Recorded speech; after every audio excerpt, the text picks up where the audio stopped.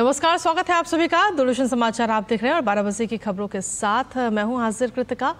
और बुलेटिन की शुरुआत करेंगे और सबसे पहले रुक करेंगे 12 बजे की सुर्खियों का। दिल्ली के हैदराबाद हाउस में पीएम मोदी और मालदीव के राष्ट्रपति के बीच द्विपक्षीय बैठक जारी। कई अहम समझौतों पर होंगे हस्ताक्षर।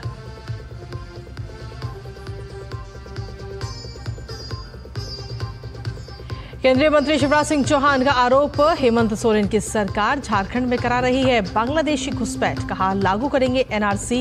राज्य में रो, रोटी बेटी और माटी की रक्षा के मुद्दे पर होगा चुनाव। पंजाब में आम आदमी पार्टी के सांसद संजीव अरोड़ा के ठिकानों पर ईडी की छापे। ज़मीन घोटाले से जुड़े केस में मनी लॉन्ड्रिंग का आरोप।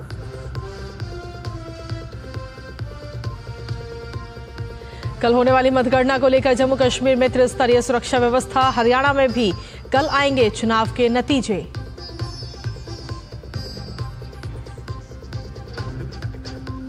और अंतर्राष्ट्रीय खबरों में इसराइल 7 अक्टूबर को हुए हमास के हमले की मना रहा है। पहली वर्षी नोवा फेस्टिवल स्तर पर जुटे इसराइली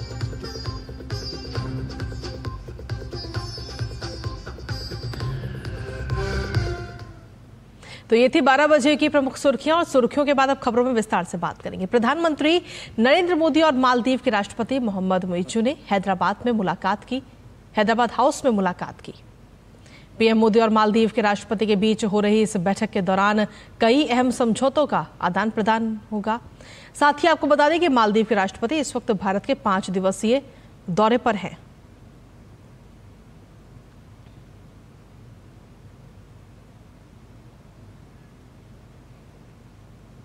और इससे पहले मालदीव के राष्ट्रपति मोहम्मद मुइजू को राष्ट्रपति भवन में गार्ड ऑफ़ ऑनर से भी सम्मानित किया गया। राष्ट्रपति द्रौपदी मुर्मू ने मुइजू का औपचारिक स्वागत किया। इस मौके पर प्रधानमंत्री नरेंद्र मोदी भी मौजूद रहे। मालदीव के राष्ट्रपति मोहम्मद मुइजू भारत के पाँच दिवसीय दौरे पर हैं और, इस दौरान आज गार्ड ऑफ़ ऑनर के द्वारा औपचारिक स्वागत उनका किया गया।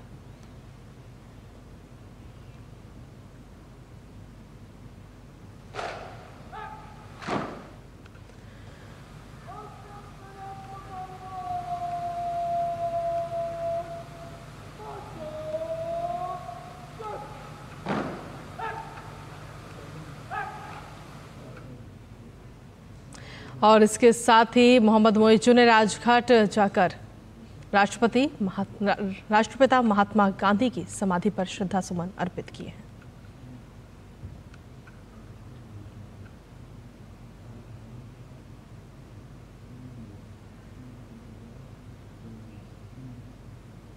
वहीं केंद्रीय गृह मंत्री अमित शाह की अध्यक्षता में दिल्ली में इस समय एक अहम बैठक चल रही है। दरअसल ये बैठक नक्सलवाद पर है।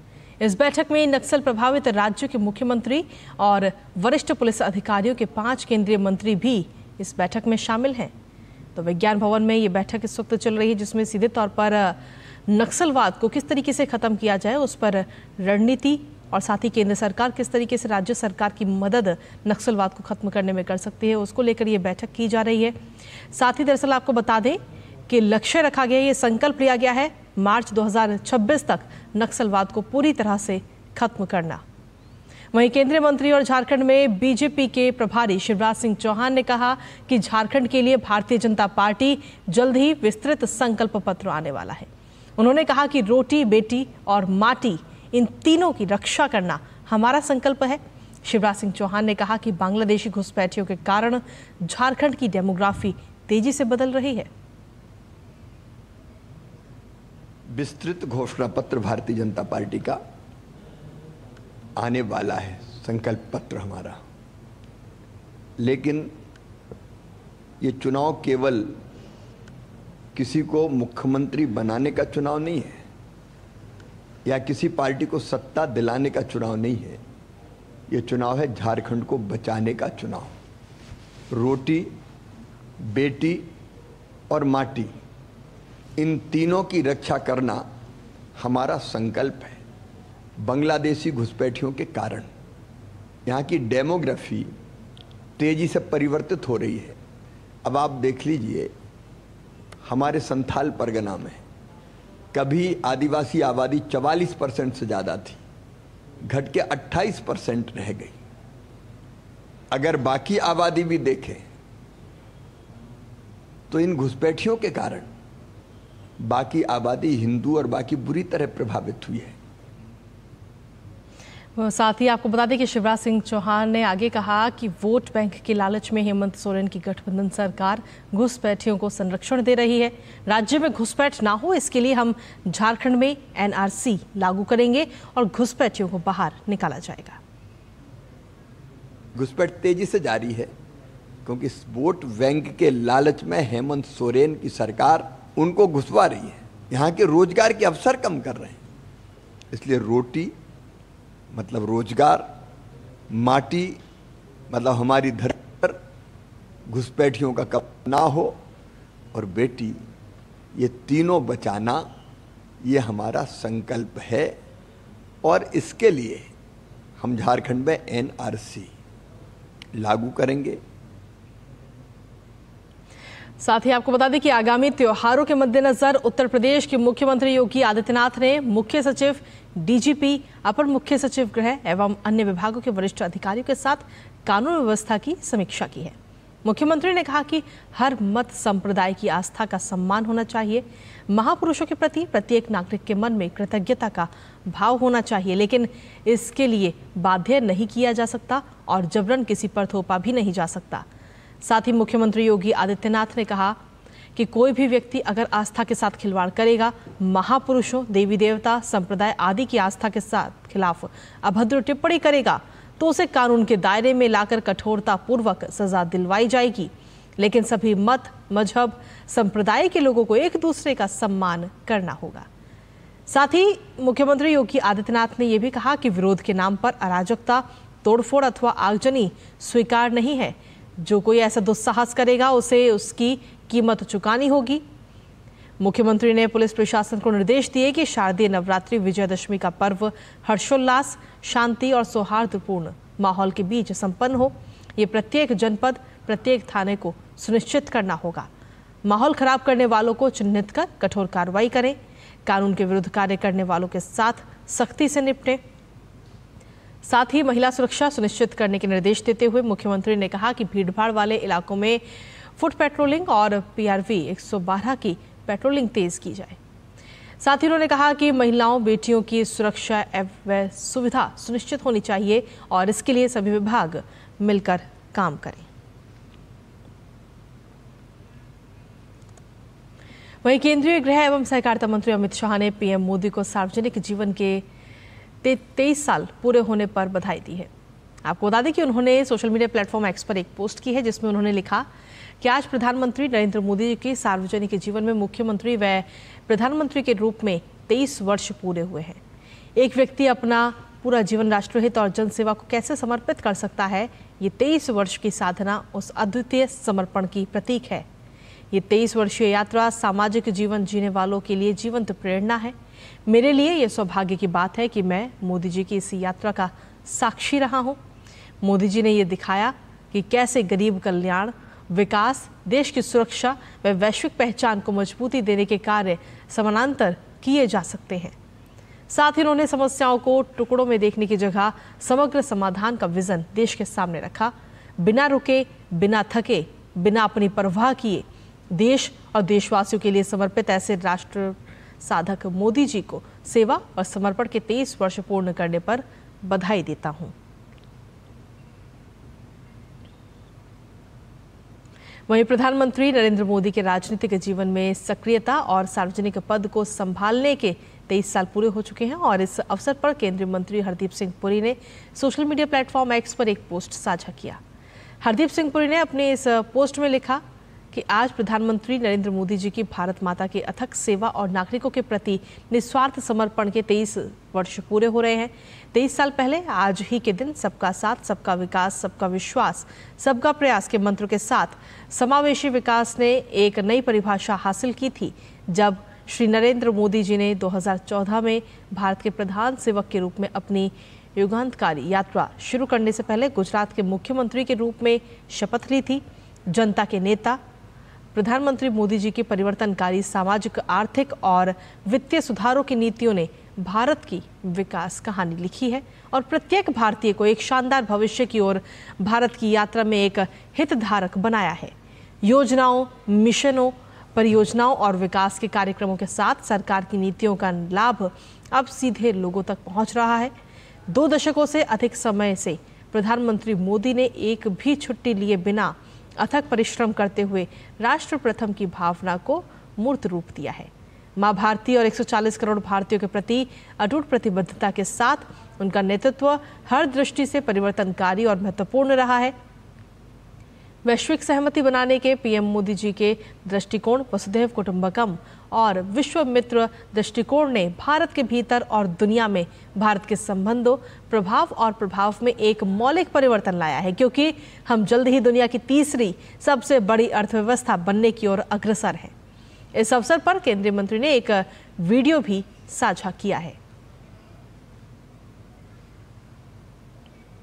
वहीं केंद्रीय मंत्री किरेन रिजिजू ने प्रधानमंत्री नरेंद्र मोदी की प्रशंसा करते हुए कहा कि पीएम मोदी ने बाबा साहेब भीमराव अंबेडकर के योगदान को पहचान दिलाई है। साथ ही उन्होंने कांग्रेस पार्टी पर संविधान पर लगातार प्रहार करने का भी आरोप लगाया है।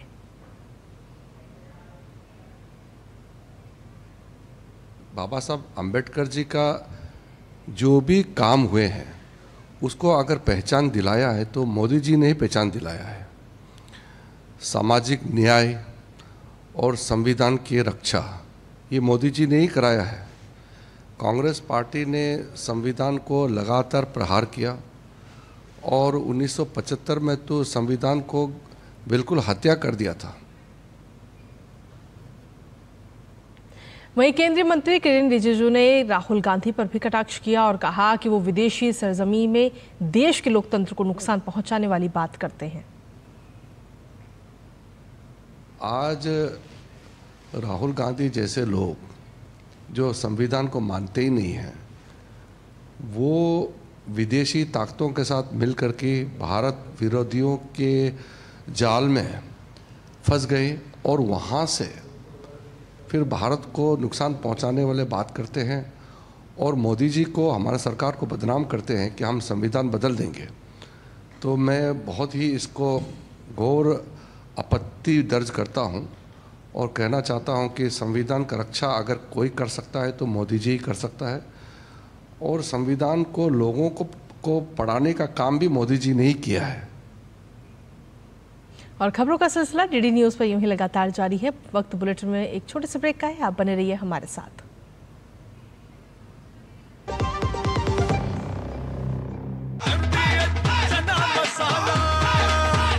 छोलिया हो या लोबिया सफ़ेद चने या काले चने। सब कुछ मज़ेदार बने। सुरक्षा की गारंटी हर चीज़ में ज़रूरी है चाहे वो मुश्किल स्टंट हो या अच्छी फ़सल। इसलिए ले आइए आईआईएल के ट्रैक्टर ब्रांड का शिनबा जो देता है सुंडी और ट्रिप से सुरक्षा की गारंटी। सर आप बहुत लकी हैं कि आपके बेटे ने हेल्थ इंश्योरेंस और बाकी सारी फॉर्मेलिटीज टाइम से पूरी कर दी है। मेरा बेटा?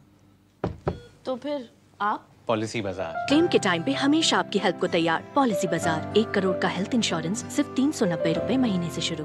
बेटियाँ घर की रौनक है।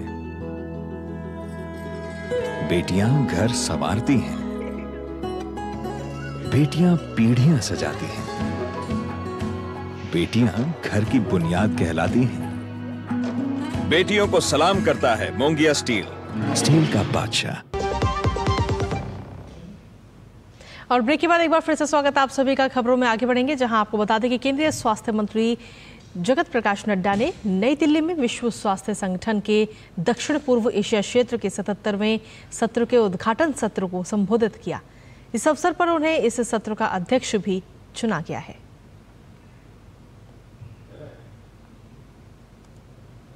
वहीं पूर्व केंद्रीय मंत्री लालू प्रसाद यादव और उनके दोनों बेटे तेज प्रताप यादव और तेजस्वी यादव समेत सभी आरोपियों को ज़मीन के बदले नौकरी मामले में फ़िलहाल जमानत मिल गई है। सभी आरोपियों को अपने अपने पासपोर्ट जमा करने की शर्त और एक एक लाख रुपए के मुचलके पर जमानत मिली है। दिल्ली की राउज एवेन्यू कोर्ट ने इस मामले की अगली सुनवाई 25 अक्टूबर को होगी।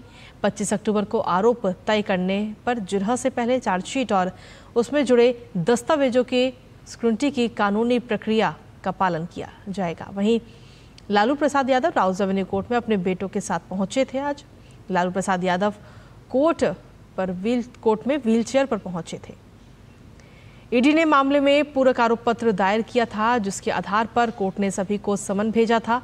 लालू यादव और उनके परिवार के सदस्यों पर रेलवे में नौकरियों के बदले ज़मीन के रूप में अवैध लाभ अर्जित करने का आरोप है। इस मामले में तेज प्रताप यादव पहली बार कोर्ट में आज पेश हुए थे। इसके साथ ही दिल्ली हाईकोर्ट में जेएनयू के पूर्व छात्र नेता उमर खालिद की जमानत याचिका पर सुनवाई टल चुकी है। जस्टिस नवीन चावला की अध्यक्षता वाली बेंच के आज नहीं बैठने की वजह से सुनवाई 25 नवंबर तक के लिए टल गई है। आपको बता दें कि उमर खालिद सितंबर 2020 से गैर कानूनी गतिविधि रोकथाम अधिनियम, यानी यूएपीए के अंतर्गत सलाखों के पीछे हैं। उमर खालिद पर आरोप है कि साल 2020 के उत्तर पूर्वी दिल्ली दंगों से संबंधित बड़ी साजिश में वो शामिल थे। उमर खालिद पर दंगों का मास्टरमाइंड होने का भी आरोप है। साल 2020 में हुए इन दंगों में लगभग 50 लोगों की मौत हुई थी तो वहीं 700 से ज़्यादा लोग घायल हुए थे। इस मामले में अन्य सह आरोपियों, शर्जील इमाम और Gulfisha Fatima, united against hate के संस्थापक खालिद सैफी और अन्य की जमानत याचिकाओं पर भी सुनवाई होगी। हरियाणा विधानसभा चुनाव के मतों की गिनती के लिए नब्बे क्षेत्रों में मतगणना केंद्र बनाए गए हैं। कालका और पंचकुला विधानसभा क्षेत्रों में हुए मतदान के मतों की गिनती पंचकुला में और नारायणगढ़, अंबाला कैंट, अंबाला सिटी और मुलाना क्षेत्रों की मतगणना अंबाला में बनाए गए चार केंद्रों पर की जाएगी। वहीं यमुनानगर ज़िले की चार सीटों की मतगणना यमुनानगर में बनाए गए केंद्रों पर होगी और इसी तरह हर जिला मुख्यालय में उस ज़िले की विधानसभा सीटों की मतगणना होगी। सीसीटीवी से सभी स्ट्रांग रूम की कड़ी निगरानी इस वक्त रखी जा रही है। इलेक्ट्रॉनिक वोटिंग मशीनों का तीन स्तरीय सुरक्षा में रखा गया है। स्ट्रांग रूम की सुरक्षा के लिए हरियाणा पुलिस और अर्धसैनिक बलों को भी तैनात किया गया। साथ ही मतदान के बाद इलेक्ट्रॉनिक वोटिंग मशीन और वीवीपैट मशीनों को स्ट्रांग रूम में रखा गया और स्ट्रांग रूम को सील कर दिया गया, जिसके बाद में अब इस सील को कल हटाया जाएगा और मतगणना शुरू होगी। हरियाणा के साथ ही आपको बता दें कि जम्मू कश्मीर में कल विधानसभा चुनाव की मतगणना होगी और इसके लिए प्रशासन की ओर से त्रिस्तरीय सुरक्षा की गई है। रियासी से कुछ तस्वीरें हमारे साथ पास आई हैं, जिसमें पुलिस और सुरक्षा बल के जवान गाड़ियों की सघन जाँच कर रहे हैं।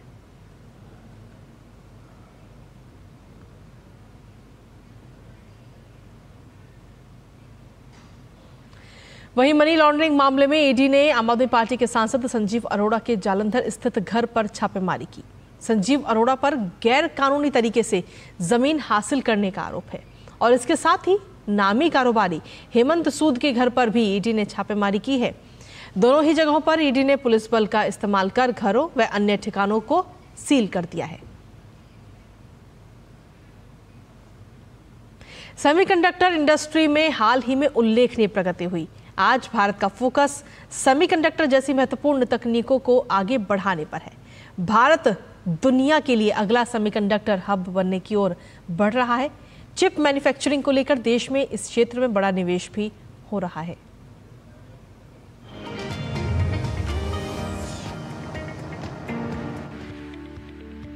दुनिया भर में सबसे तेज़ी से बढ़ती प्रमुख अर्थव्यवस्था के रूप में भारत आगे बढ़ रहा है। भारत जीडीपी के हिसाब से पांचवी सबसे बड़ी अर्थव्यवस्था है। ग्लोबल फिनटेक एडोप्टेशन रेट और स्मार्टफ़ोन डेटा खपत में पहले स्थान पर है। भारत दुनिया का अगला सेमीकंडक्टर हब बनने की तरफ़ तेज़ी से बढ़ रहा है, क्योंकि देश में इस सेक्टर में बड़ी संख्या में निवेश किया जा रहा है। लोकल मैन्युफैक्चरिंग के लिए पीएलआई योजनाओं के तहत भारत को एक दशमलव दो पाँच लाख करोड़ रुपए का निवेश मिला है। केंद्रीय मंत्री अश्वनी वैष्णव ने कहा, अमेरिका की माइक्रोन टेक्नोलॉजी 2025 की शुरुआत भारत में चिप का उत्पादन करना शुरू कर देगी। वहीं सीजी पावर सेमीकंडक्टर सुविधा का कंस्ट्रक्शन चल रहा है और टाटा की ओर से असम में बनाई जा रही एटीएमपी सुविधा में भी काम तेज़ी से किया जा रहा है और इसका कंस्ट्रक्शन शुरू हो चुका है। भारत में सेमीकंडक्टर इंडस्ट्री की वृद्धि से प्रधानमंत्री नरेंद्र मोदी के विजन को मजबूती मिलेगी।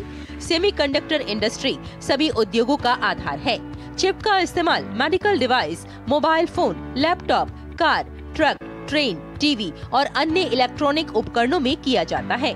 साथ ही कहा है कि अब तक सरकार की ओर से की गई सभी पहल, जिसमें डिजिटल इंडिया मिशन और टेलीकॉम इंडिया मिशन शामिल है, उसने सामान्य नागरिकों के हाथ में टेक्नोलॉजी लाई है।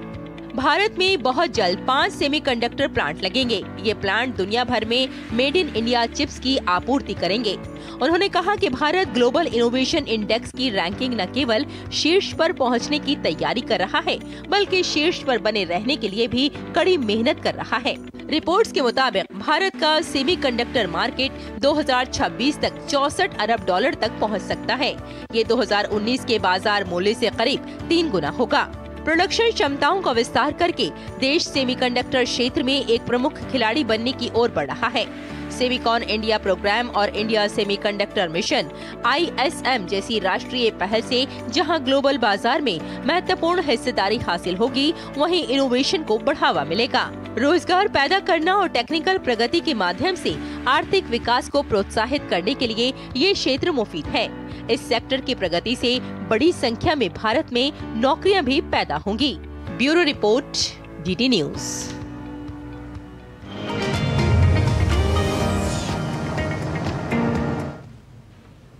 और वहीं स्पेस स्टार्टअप्स को वेंचर फंड के लिए एक हज़ार करोड़ रुपए दिए गए हैं। आपको बता दें कि ये जानकारी देते हुए केंद्रीय मंत्री डॉक्टर जितेंद्र सिंह ने कहा कि ये निर्णय मोदी 3.0 के पहले 100 दिनों के भीतर लिया गया, जो कि सरकार द्वारा अंतरिक्ष क्षेत्र को दी जाने वाली उच्च प्राथमिकता का संकेत है। उन्होंने बताया कि लगभग चार साल पहले अंतरिक्ष क्षेत्र को प्राइवेट सेक्टर के लिए खोलने का निर्णय लिया गया था और इसके परिणाम स्वरूप अंतरिक्ष क्षेत्र में बहुत ही कम समय में मात्र एक स्टार्टअप से 200 से ज़्यादा के स्टार्टअप तक पहुँचने का आश्चर्यजनक सफ़र तय किया गया। भारत के कुछ अंतरिक्ष स्टार्टअप वैश्विक क्षमता वाले हैं। केंद्रीय मंत्री ने बताया कि अंतरिक्ष क्षेत्र में सरकार द्वारा 100 फ़ीसदी एफ़ प्रावधान की अनुमति है और इससे नई पहलों और नए एंटरप्रेन्योर को बढ़ावा भी मिला है। साथ ही उन्होंने कहा कि भारत में स्टार्टअप्स की संख्या 2014 में 350 से बढ़कर 1.5 लाख से ज़्यादा हो चुकी है। इनमें स्पेस सेक्टर के कई स्टार्टअप भी शामिल हैं, जो देश की अर्थव्यवस्था को और मज़बूत कर रहे हैं। और चलिए बुलेटिन में आगे बढ़ते हैं। आपको बता दें कि आईसीसी महिला टी ट्वेंटी वर्ल्ड कप का नवा मुकाबला। इंग्लैंड महिला राष्ट्रीय क्रिकेट टीम बनाम साउथ अफ्रीका महिला राष्ट्रीय क्रिकेट टीम के बीच आज यानी सात अक्टूबर को खेला जाना है। दोनों टीमों के बीच ये मुकाबला शारजहां के शारजहां क्रिकेट स्टेडियम में भारतीय समय अनुसार शाम साढ़े सात बजे से खेला जाएगा। टी ट्वेंटी वर्ल्ड कप में इंग्लैंड टीम ने अपने अभियान की शुरुआत जीत के साथ की। इंग्लैंड ने अपने पहले मुकाबले में बांग्लादेश को 21 रन से हराया। और ऐसे में इंग्लैंड की टीम साउथ अफ्रीका के खिलाफ टूर्नामेंट में अपनी दूसरी जीत दर्ज करना चाहेगी। और वहीं दूसरी ओर, साउथ अफ्रीका ने भी अपने अभियान का आगाज़ जीत के साथ किया। साउथ अफ्रीका ने पहले मुकाबले में वेस्टइंडीज को 10 विकेट से हराया और ऐसे में साउथ अफ्रीका की नज़रें इंग्लैंड को हराकर टूर्नामेंट में दूसरी जीत दर्ज करने पर होगी। दोनों टीमों के बीच रोमांचक मैच देखने को मिल सकता है। और अब रुख करते हैं अंतर्राष्ट्रीय खबरों का, जहाँ कराची में हुए आतंकवादी हमले में दो चीनी नागरिकों की मौत हो गई, साथ ही एक घायल हो गया है। इसके साथ ही कई पाकिस्तानी नागरिक भी इसमें घायल हो गए। ये आतंकवादी हमला कराची में हवाई अड्डे के पास चीनी कर्मचारियों के एक काफिले पर हुआ है। आपको बता दें कि ये port Qasim electric power company private limited के कर्मचारी हैं। पाकिस्तान स्थित चीनी दूतावास ने इस आतंकवादी हमले की कड़ी निंदा की है। चीन ने अनुरोध किया है कि पाकिस्तानी अधिकारी हमले की अच्छे से जाँच करें, अपराधियों को कड़ी सजा दें और पाकिस्तान में चीनी नागरिकों, संस्थानों और परियोजनाओं की सुरक्षा सुनिश्चित करने के लिए आवश्यक कदम उठाए। साथ ही दूतावास ने हमले के मृतक और घायलों के परिजनों के प्रति सहानुभूति भी जताई है। इसराइलों ने आज तड़के हमास के उस विनाशकारी हमले की पहली वर्षगांठ मनाई, जिसने एक युद्ध को जन्म दिया। जिसने दुनिया भर में विरोध को जन्म दिया और मध्य पूर्व में कहीं अधिक व्यापक संघर्ष को भड़काने का भी जोखिम है। यरूशलम और इसराइल के दक्षिण में समारोह और विरोध प्रदर्शन सुबह छह बजकर उनतीस मिनट पर शुरू हुए। ये वो समय था जब हमास के नेतृत्व वाले आतंकवादियों ने पिछले साल सात अक्टूबर को हमले की शुरुआत में इसराइल में रॉकेट दागे थे। इसराइली आंकड़ों के अनुसार हमास ने लगभग 1200 लोगों की हत्या और लगभग 250 लोगों को बंधक बनाकर गजा ले गए। सेना और पुलिस ने कहा कि आज पूरे देश में सुरक्षा बल हाई अलर्ट पर है। वहीं इसराइल के तीसरे सबसे बड़े शहर हाइफा में हिजबुल्लाह ने रॉकेट्स गिराए हैं और इस हमले में करीब 10 लोगों के घायल होने की खबर है। हिजबुल्लाह ने कहा कि उसने हाइफा के दक्षिणी इलाके में एक सैन्य अड्डे को मिसाइलों के ज़रिए अपना निशाना बनाया। तो वही हिजबुल्ला ने कहा कि उसने हाइफा के दक्षिणी इलाके में एक सैन्य अड्डे को फादी एक मिसाइलों से निशाना बनाया। हाइफा क्षेत्र की ओर दागे गए रॉकेट्स के सिलसिले में इसराइल पुलिस की तरफ़ से जारी किए गए बयान में कहा गया कि अधिकारी और पुलिस, बम निरोधक एक्सपर्ट्स कई जगहों पर जाकर रॉकेट्स से निकले मलबे की जाँच कर रहे हैं। कुछ इमारतों को काफ़ी नुकसान भी पहुँचा है, जिसमें जब लोग मौजूद थे, उनको मामूली चोटें आने की भी खबर है। वहीं इसराइल ने रविवार की देर रात लेबनान पर कई सारे हवाई हमले किए। ये हमले लेबनान की राजधानी बैरूत के दक्षिणी हिस्से पर किए गए। इसराइली सेना ने कहा कि उन्होंने हिजबुल्लाह के हथियार भंडारों को अपना निशाना बनाया। तो वहीं इसराइली अधिकारी ये जाँच कर रहे हैं कि कैसे रविवार की रात हिजबुल्ला के पाँच रॉकेट इसराइल के एयर डिफेंस सिस्टम को भेदने में कामयाब रहे। और इन सभी घटनाक्रम के बीच ईरान ने दोबारा से अपनी हवाई सेवाओं को बहाल कर दिया है। इससे पहले इजरायली हमलों के डर से ईरान ने अपनी हवाई सेवाओं और कुछ एयरपोर्ट्स को बंद कर दिया था। इजरायली एंबुलेंस सर्विस के मुताबिक हिजबुल्ला के इसराइल पर किए गए रॉकेट हमलों में दस इसराइली घायल हुए हैं। इसराइली सेना ने गजा के एक अस्पताल पर भी हमला किया। इसराइल का कहना है कि इस अस्पताल से हमास के सदस्य अपना ऑपरेशन चला रहे थे। और इसी के साथ फ़िलहाल मेरे साथ इस बुलेटिन में इतना ही। बाकी देश दुनिया की तमाम खबरों के लिए आप देखते रहिए डीडी न्यूज़। नमस्कार।